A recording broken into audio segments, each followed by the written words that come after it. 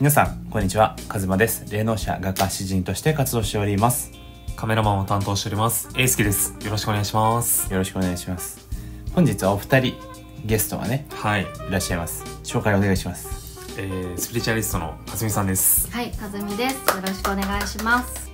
えー、もう一人、えー、ワンちゃんのお洋服を作っているレイチェルさんです。らーはじめまして。YouTube に登場してまいりましたレイチェルと申します。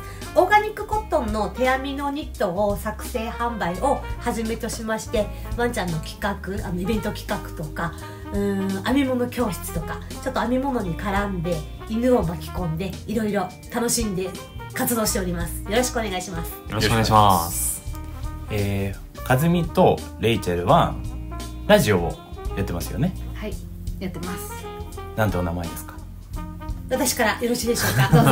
ありがとうございます。ご紹介いただきまして、えっと北海道は中標津町にあります FM 花というローカルの地域番組あのラジオ局なんですけれどもあのもともとレイチェル北海道の中標津町出身ということと現在川崎市に住所を置いてるんですけども川崎市がですね中標津と友好姉妹都市なんですね。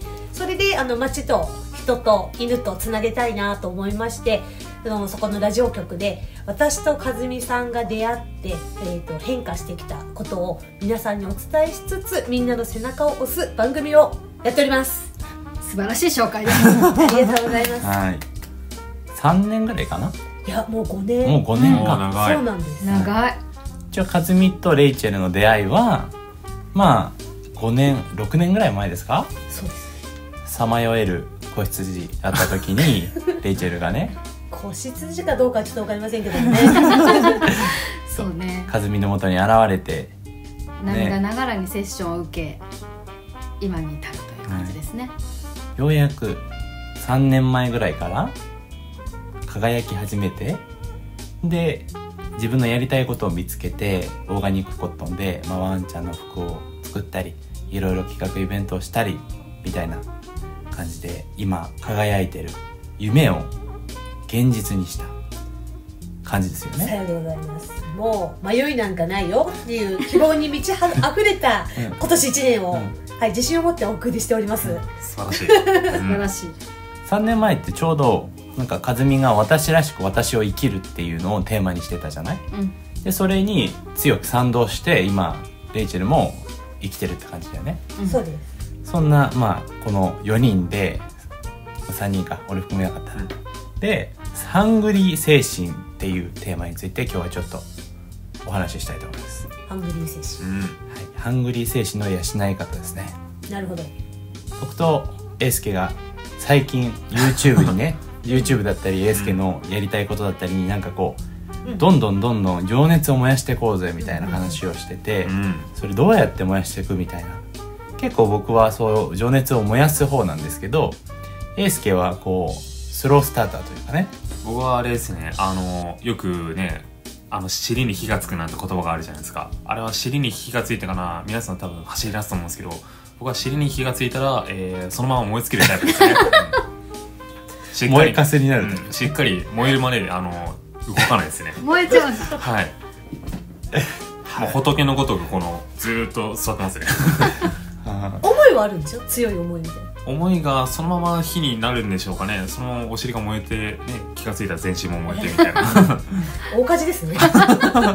結構ね、そんなことが多々あるんですけど、うん。皆さんどんな感じなんですかね？かずみさん、レイチェルさんは。ーねうん。私は多分あのそういうのがもうどちらかってて、ん。わけがわからないところにカズマさんとカズミさんが軌道修正してくれてそれに忠実に従って毎月毎月2人の話を聞きながら1個ずつ軌道を修正してあのなんだろう正しいっていうかうん。自分の生きる道に戻してくれて、そこにいるような感じです。ね なるほど。大事ですよ。大事ですよね。大事です。はい、うん。ラジオのね収録にレイチェルがわざわざ府中の方にね和美の方に会いに行って僕もそこに行って毎回割と泣くっていうね。まず私がこう2人の元に訪れて「どうも」って入ってくるまではいいんですよ。うんでカズマから「どう？レイチェルこの1ヶ月」って言われたら「えまた聞かれた」みたいなドキみたいな。その自分の思いとかを明確にして発信するってことができない人だったの、うん。なんかあるんだよ。なんかあるんだけどそれをこうだったってことを言えない。まあなんかあったんだろうね過去にいろいろね。うん。で言えない人だったから言われたら詰まる。うん。で分かんないってごまかす で和美さんに「分かんなくないよもう分かってるはずなのに」って言われまくってるんだけど でもなんて表現していいか分からない。ってずっと言ってた。うん。だけどもここ23年で教えてもらったこととか伝えてもらったこととかをうん。自分の中に落とし込んで、うん。じゃあ自分何できるんだろうみたいなところをチャレンジだね。諦めないでやり続けた結果自信に満ち溢れる私が出来上がったってこと。ななるほどその時の和美から見てレイチェルはどんな風に映ってました？ね、ひたむきなんだよね。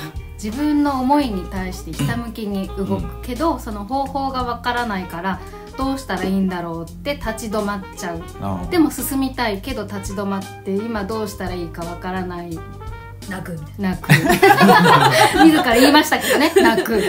どうしたらいいんだろうって言って、まあ、私たちがいろいろ話をしてる中でも自分であじゃあこうしたらいいのかなしたらいいのかなってレイチェルの中で考えたことに動き出すっていうその動き出す意欲がレイチェルはとても強いからうん。そこにこうなんかなんていうのかな全意識を集中するみたいな夢中になるっていうのかな、うん。自分に夢中になって進めるレイチェルだからこそ、まあ、自分の中で軌道修正しつつねいけたんじゃないかなと思うかな、なるほど。うん。バンジーって言ってたもんね。言ってた、いつもいつも「えそれバンジーだよ。バンジーだよ」って言いながら 次来る時は「バンジー飛べた」って言って でまた次のバンジーが来るみたいな、もう終わりじゃないの？って言ってたね。うん、一個一個飛んでるイメージがありましたよね。あった、うん。でも本当に壁をぶち破る、全何かとそれ言ってたよね、うん、でも今考えたらハードルはすごい低いものだったんだけど、うん。その頃の自分にとってはめっちゃ高かったの、うん。うんそうだね。って。それできないよ。どうすればいいの？みたいな、インスタライブとかもね。あそうそう、うまんあ、インスタの投稿の仕方もそうだったね、うん。あうん、えそれやんなきゃダメなの？ー。あーそう。そうか。いいねを巡れもそうだったし、うん。気になる人を見た方がいいって言われたりとかっていうのも、えそんなことしなきゃダメなの？みたいな、うん。そんな時間私にはないみたいな。ことを言言ってた。もうそういうなんかこうまだなんかやりたいけどどういうふうに足足取りを進めたらいいかわからないっていうのは結構今のエースケとリンクするところあったりするのかな、うん。うん。どう、いやそうですね。だから何ていうんですかね。情熱っていうかハングリー精神っていうかね、この進む意欲の差があるのかなっていうのは、みんな持ってるものだと思うんですけどねどうやってそのハングリー精神を養ったのかなっていうのは。もしかして火の概念が違うかもしれないよね。結構でも私はうん取っかかりっていうかさ、自分一人で生活をしなきゃいけない自立しなきゃいけないっていうのが多分根底にあってまあもともと言えばお金の心配っていうのが一番頭にあったんだけど、なんかそれの壁をもう取れたことによってうん。何が好きで、えーとどこに夢中になれるのかみたいなことがちょっとずつ時間をかけてできるようになったような気はする。それこそ1回目のバンジーって、うんまあそのハードルも高いし怖いと思うんだけど、めっちゃ怖かったよ。それはどういうスタンスでもうやってこうっていうふうに踏み切れた？の詰まってる。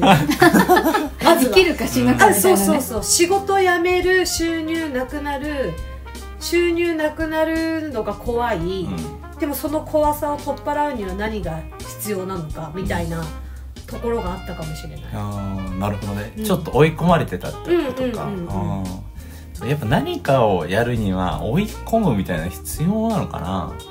どう思う？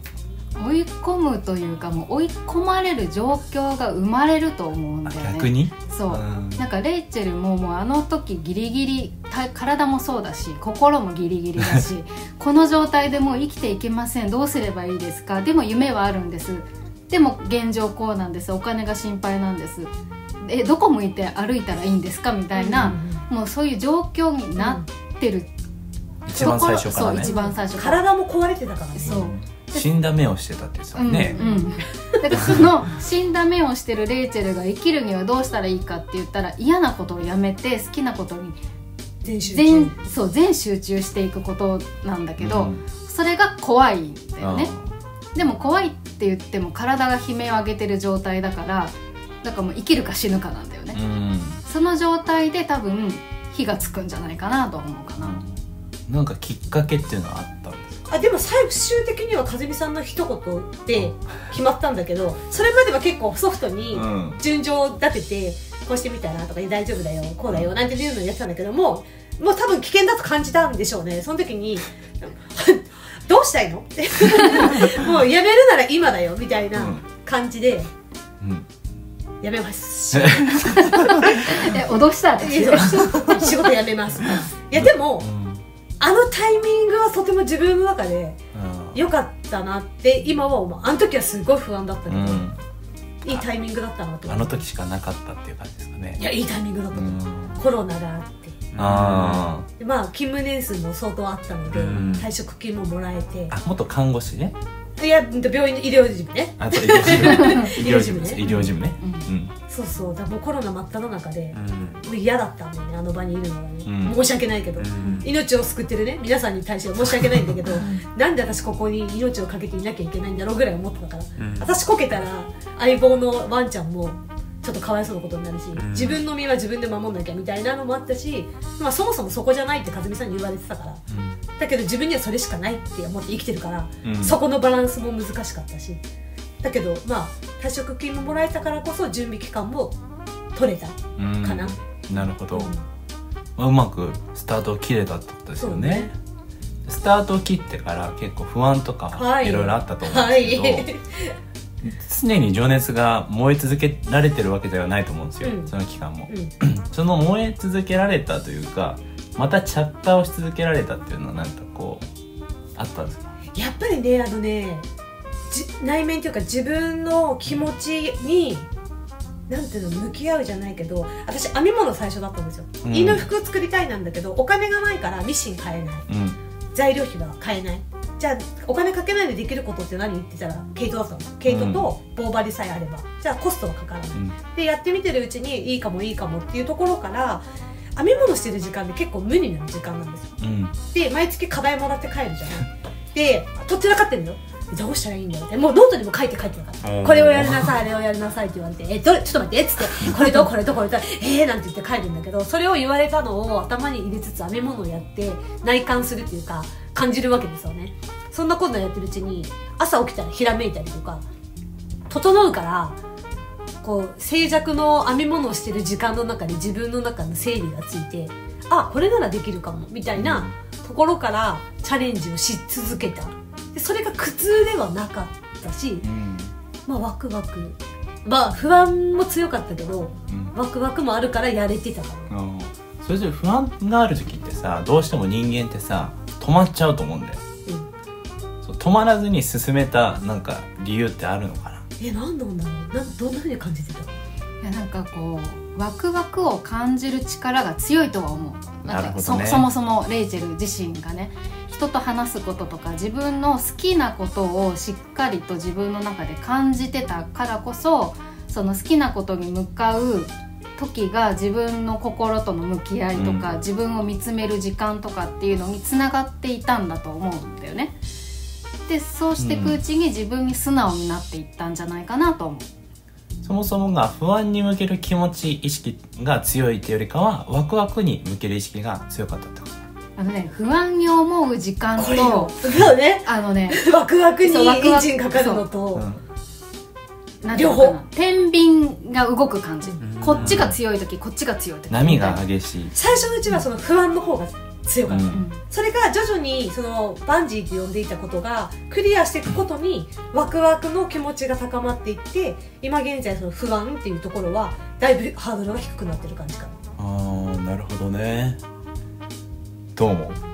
まあでも聞いてて思ったのは腐らないですよね。なんかそのあ腐らんうんうんうん。その不安が強いというか結構ねあの話を聞いてると精神も肉体も結構ギリギリな状況だったんですけどそれでもね腐らないってすごいなっていう。燃えかすにならないって燃えかすにならない。なんだったら輝きますから。は い火によってなんかねあ確かに火の概念が違うっていうのはそういうとこなのかなっていうのはねうん。納得だなっていう。腐らないです。そこなんでなんですかね。うん。腐りきらなかったっていう諦めきらなかったっていうかね。あーまあ環境っていうかそのあの現状っていうんですかね。その追い込まれ具合。僕はあのちゃんと温室育ちなんで結構ねギリギリとは言ってもまあ余裕があるんですよね、うん。まあそこの違いなのかなあったかいんだね。あったかいですね。ああったかいですね。そうだよね、だってもう生活しなきゃって思っちゃうもん。ねうん。やっぱお話聞いてるとああ僕やっぱ温泉使ってるんだなみたいな、うん。あったかいって温泉のことだったんだみたいな。あそんな感じします？ねで隣にはねそう。冷冷たい冷え風呂冷え風呂があってね そう。その往復してるみたいな。あちょっとあ冷たいの入って整うみたいなね。あなんか。そうだね。生きていくためにはどういう生き方がいいんだろうみたいな感じかもしれないね。で元ね元っていうか今までだったらやっぱりよそに行って収入を得てとか思ってたけど、うん。それが苦しくなってるからこそ自分の好きなことで生きていくためにはみたいなうん感じになってくるのがね熱の抜け方が変わるっていうかね。和美から言わせると環境ではないってことですよね、うん、環境ではなくて違うって。いやもちろん環境も影響はするんだけど、うん。なんていうのかなこう一つ一つに向き合う力もそうだしこうなんていうのかな。一つを超えることによって自分に自信をつけていったんだと思うね。私にもできるんだっていうのとなんか失敗しても失敗と捉え捉えないレイチェルの強さみたいなものがあると思うんだよね。でもこれって個人差があるかって言ったらそうじゃなくてなんか自分自身をどう自分が整えていくかっていうところがすごく大事なのかなと思う英介の気持ちを代弁すると この一個一個を超えるのって難しくないですか？そうですね。まず一個をクリアするのって、うん。うん。壁ってもうね大変じゃないですか。ね、乗り越えるのはね。大丈夫だから。まずこの壁を乗り越えるっていう動作うんもできないんですよねきっとね。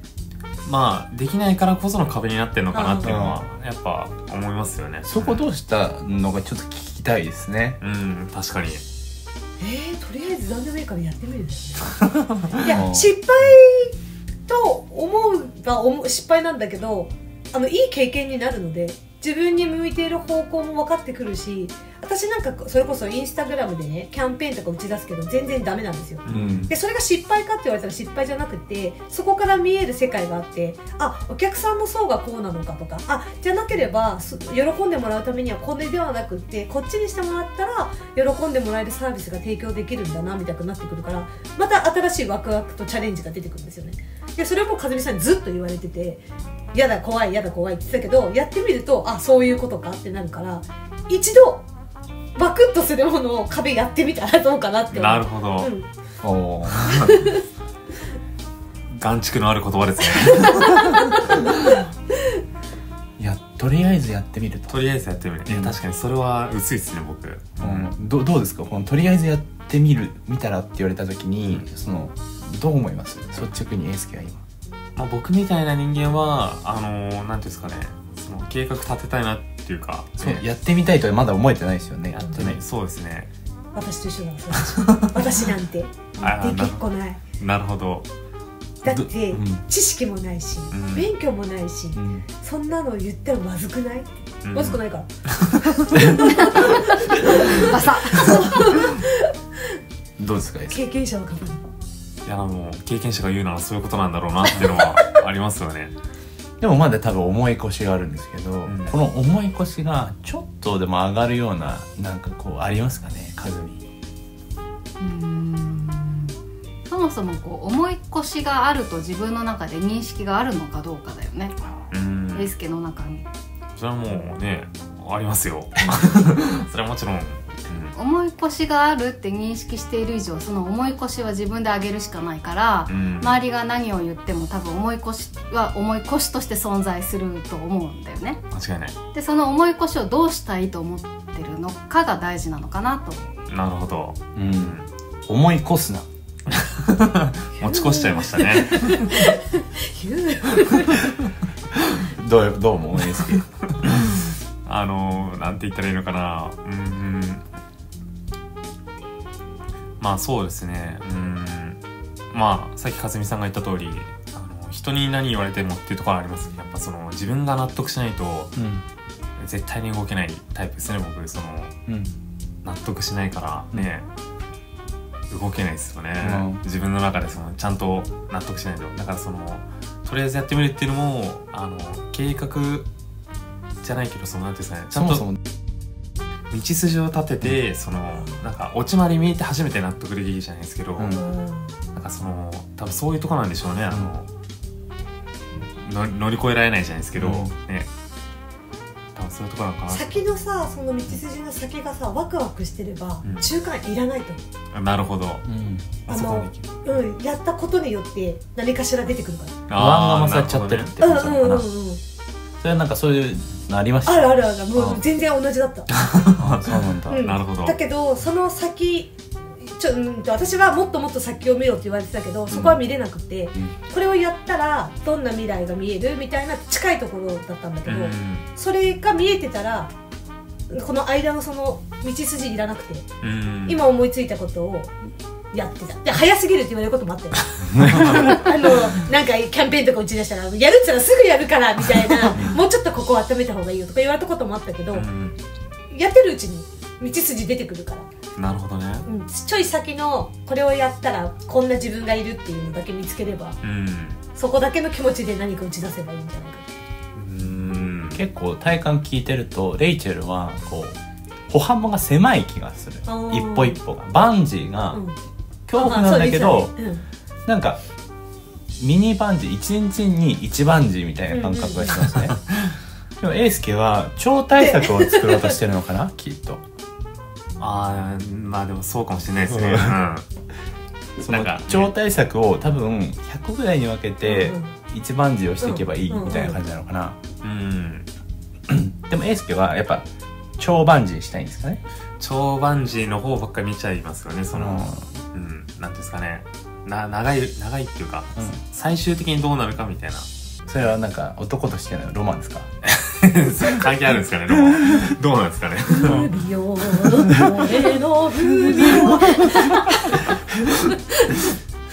なんて言ったらいいんだろう。まあでもね、うん。なんかそうですよね。あのー、落ち見ちゃうっていうかね。うん。その細かいバンジーをしていくってことに対しては今エイスケはどういうふうに捉えてます？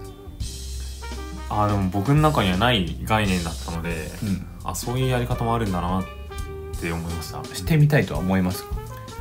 ものものによるっていうかなんていうんですかね。その今はこう話してるんですけど多分家に帰ってその持ち帰った時にあの自分の中で整理すると思うんでなるほど。そういう時になんか思うのかなって思います。なるほど。うん。じゃあ腐らない力っていうのはどういうふうに養えればいいんですかね？腐らない力はまあ自分に素直になることよねと。なるほど、うん。まあそしてさっき言ったように素直あのワクワクに目を向けるってことですよねワクワクを楽しむ。うん。ちょっとでもなんか出てきた時にえ？って思ったらちょっとそこに意識向けてそこの情報を取りに行くとか何でもいいと思うんだけど嫌だなと思うことは極力やらないようにしてた。うん。うんあーなんかもやっとするなじゃあいっかみたいな、うん。あこっちワクワクするなじゃあこっちだけちょっと突っ込んでみようかなみたいなう感じを増やしていったから、んなるほど。でもそれでもやっぱ、まあ、恐怖はありましたよね。あるあるもちろん。なるほど。その恐怖に恐怖を抱いてる人もしくはその5年前のレイチェルに対して言葉を添えるとしたら何て声かけたいですか？えー、もう自分に自信を持ってぐらいかな。なんか楽しめとも思うしその頃の自分に声かけるとしたらうんどちらかってたからな。でもなんか本当早く気づかせてあげて。大丈夫だよっていう。ねうん。うん。どう転んでも。うん。なるほど。自分のそう心かな。心をちゃんと見なさいかもしれないね、心をちゃんと見なさいと、うん、自分に素直にそれこそかずみさんが言う素直に。素敵だね、うん。どうかずみなんかこうさ完璧を目指そうとしてしまうと多分小さいバンジーって飛べないと思うんだよね。うん。だけどその小さいバンジーをの結果をどう捉えるかによってまた次のバンジー飛べるか飛べないかって感じていけると思うからその結果ってなんかこう自分を知るための一つの出来事みたいな感じで捉えていったらいいんじゃないかなと思う。どう思いました？うーんなんて言ったらかな。あでも聞いてて思ったのはその飛び越えるとかありますけどあのできないのって結構しんどくないですかね。バンジー飛び越えマジできなかったそのものがってこパンジーそのものができなかったら。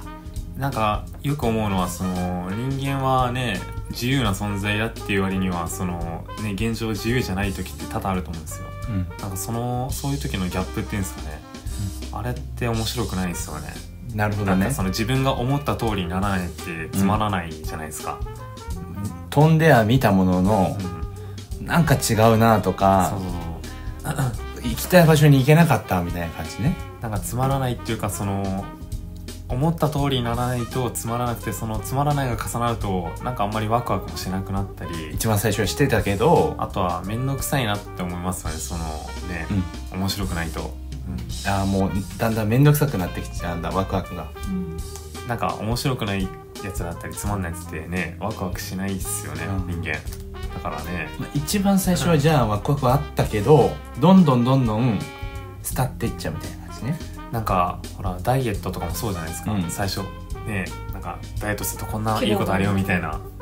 で自分もそうなりたいみたいな思うけどいざやってみたら失敗して全然効果ねえじゃんなんか全然痩せないじゃんみたいなとかで、多分みんな結構ねその面倒くさくなってくるのかなっていうのは思いますよね、失敗に対してって感じかなそしたら。ああ、うん。意識かな。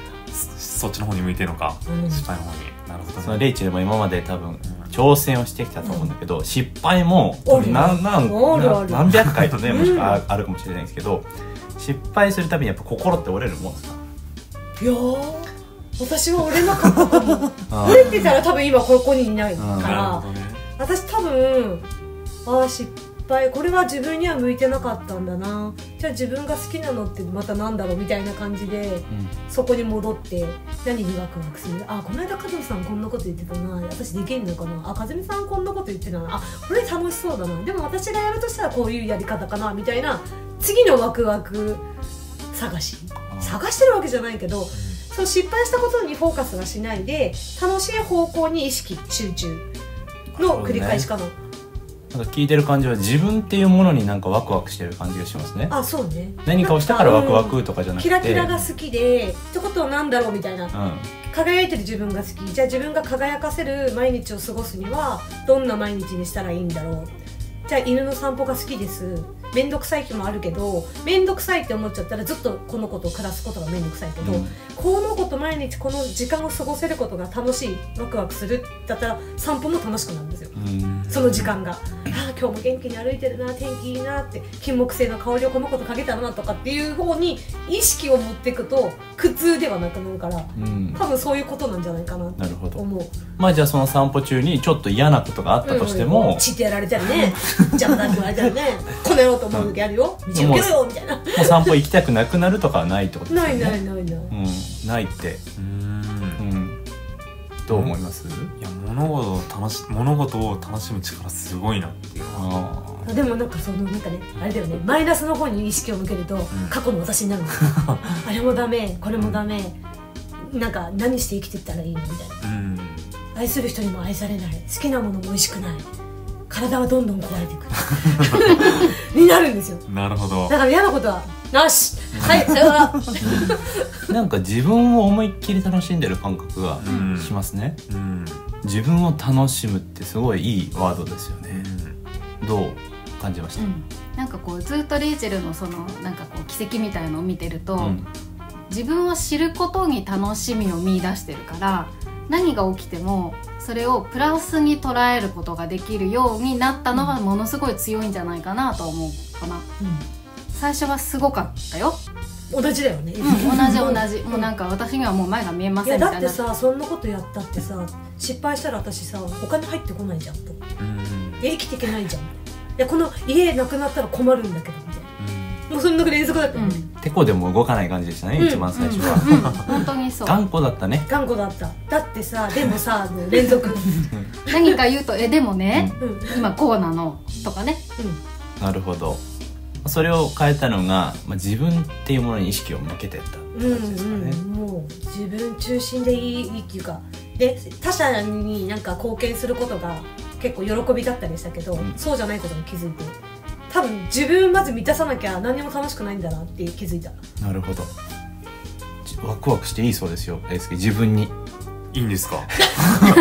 しちゃっていいんですか？うん、それがキーになるみたいですね、おーなるほど。うん、ちょっと今ワクワクしてますか？自分に。あんまりしてないです。してない。で すあんまりしてないです。あらららららら。頑固だ。頑固ですね。確かに。あら。その自分にちなみにワクワクできない理由とかってあったりするんですか？うわーなんだろうな。うわーなんだろう。ん。ううーん。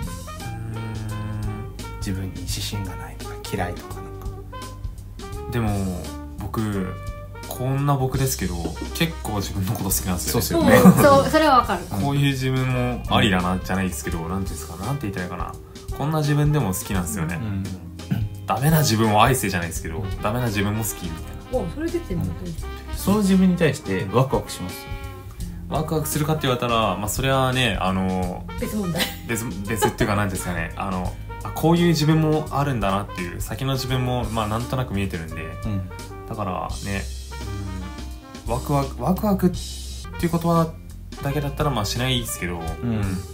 まあそれはそれでっていうか、なるほど、うん。うん。でもそういう時ってさ多分和美も多分俺もそうだったけどレイチェルに対して何がしたいのとかそう何がワクワクするのっていうことを結構問いかけてたと思うんだけど、そのエースケの中で一番ワクワクするじ事象とか物事って何？パッと出てきたのは、まあ、カズマとゲームをしたい。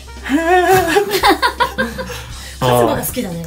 カズマと大好きカズマさんと、ね、えちょっと待って、ゲームをね。僕のこと好きですか？それはもちろん好きですよ、うん。大事な友人ですね、うん。でもそこに好きがあるからそこから何か生まれるかもしれないね。ああワクワクしますか？いやーあのー、ちょっと前まで一緒にあのちっちゃいゲームやってたんですけどね、いや楽しかったっすねあれ。めちゃめちゃ楽しかったんですけどうん。やっぱゲームってね、うん。その時間めっちゃ食うじゃないですか、はいはいはい。ってなるとそのね、なりたい自分とはちょっとなかなか遠い位置になっちゃうんでねゲームっていうのは。ワクワクとなりたい自分がこう分裂してんだ、合致してないですようね、ん。そのさゲームをやってる勝間さんと過ごしてるこのワクワクの中からヒント出てこない？あーこの時間楽しいな。こういうのいいな。ここから俺こういうのやりたいなみたいなことが広がっていかない。うんなんていうんですかね。あの自分の抑圧されたエゴみたいなのが解放されてる感じありますよね。ああそれだけの感じになるんだ。あのゲームやってると。ちなみに抑圧してるエゴっていうのは どういうものなんですか？それは。あの何を日頃抑圧してるんですか？なんていうんですかね。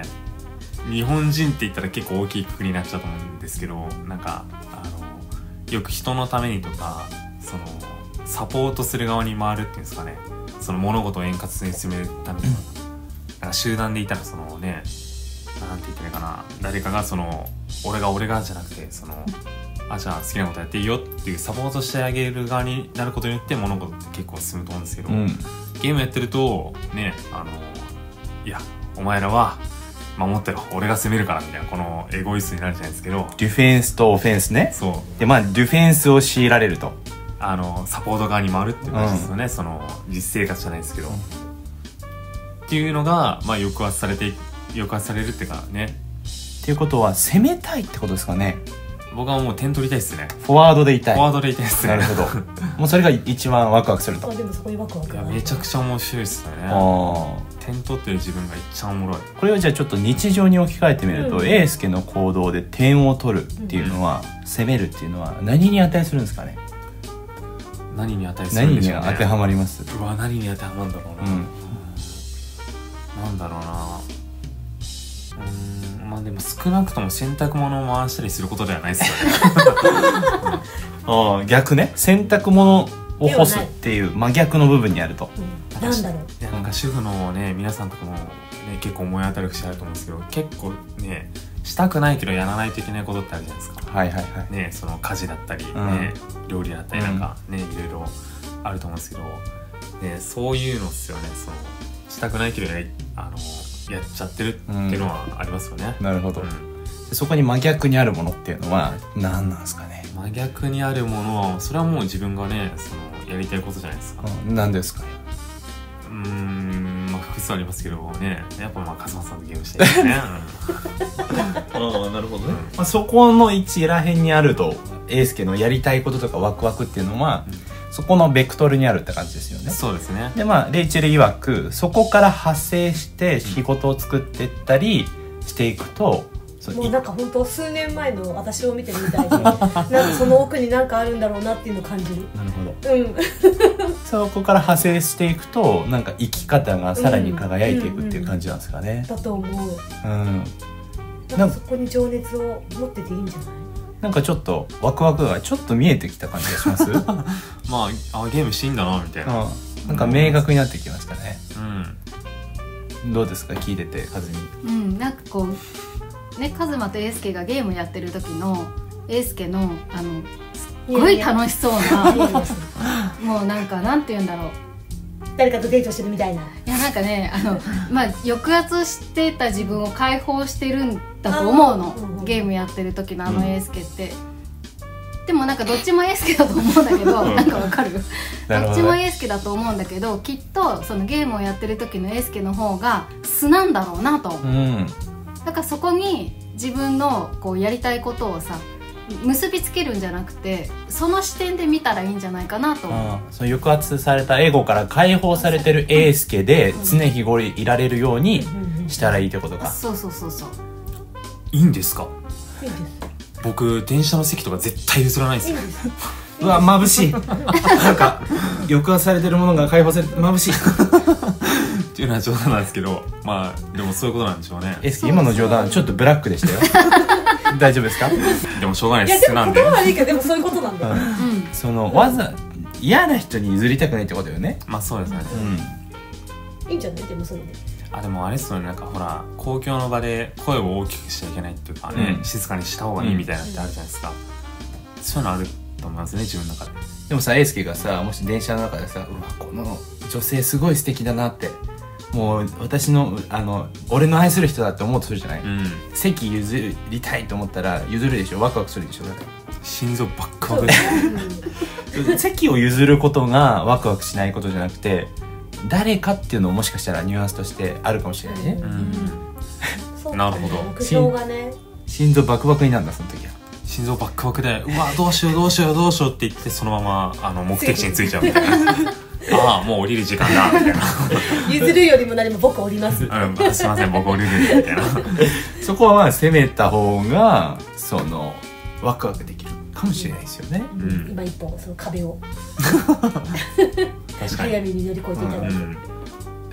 なんかまたちょっとあの、まあ、タイトル「ハングリー精神の養い方」まあ、ワクワクし方っていうニュアンスにちょっとなんか近づけたうん回だったんじゃないですけど皆さんどうでした？うん。数年後楽しみにしてます。ありがとうございます。またね1年後ちょっとエースケがねやりたいこと1年後じゃないか。もう来年だから数ヶ月後か、うん。もうやりたいことがあるからう、ん。もうガラッと変わるよねああ分かった。でもこの半端な余裕の持ち方って何なんだろうってちょっと思ったんですけど、うん。あれですねなんか僕の中でその将来の自分っていうのが明確になってるからこの半端に余裕があるのかなっていうのはうん故にハングリー精神が生まれにくいのかなっていうのはなるほど。あったりするんですけど。まあ、こうなるだろうなーってぼんやりしちゃってるって余裕かましちゃってるってことですね。そういうことだ。うん、うん。な甘くねえぞ。皆さん甘くないそうです。こういうところ風見厳しいですからね。そうね甘くはないわな。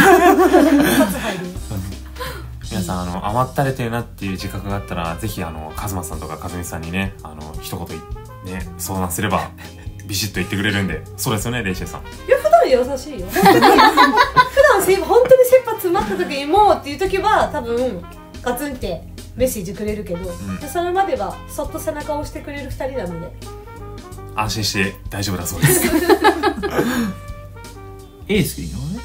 厳しめにいきますよ。そうだね。ちょっと叩いた方がいいかもしれないね。うん。でもね優しくいつもいろんな話をしてるつもりなんだけど。はい。多分僕よりも和美の方が結構アグレッシブなコメントをくれますよね。あのストレートに言ってくれますよね。そうっすかバシッと。そうだね。ジャブとかないですからね。ジャブないです和美ジャブないんですよ。全打ちストレート。あのストレートしか打てない。ゆえに考えますよね。ゆえに考えうん。はい。そうだよなーって思いながらも。そんな感じで本日はこのような回になりました。うんはいご出演ありがとうございました。こちらこそ数年後のエスケを楽しみにしています。はいありがとうございました。概要欄にお二人のリンクをちょっと貼っておきますのでぜひご覧ください。SK うん。来年は最強になっていることでしょ来年？う来年。数ヶ月後。すぐだね。ありがとうございます。では本日もご視聴いただきありがとうございました。カットで。カットでいいですか？また次回の動画で。お会いしましょう